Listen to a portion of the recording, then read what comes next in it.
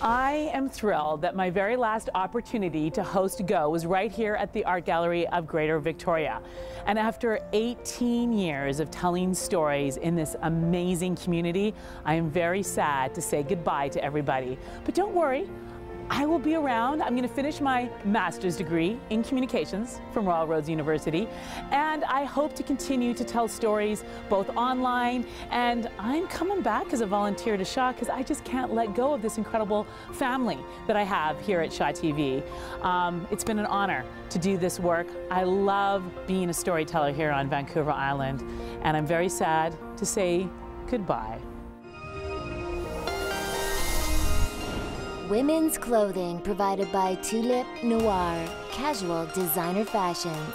Men's wardrobe by DG Bremner & Co. Menswear and accessories.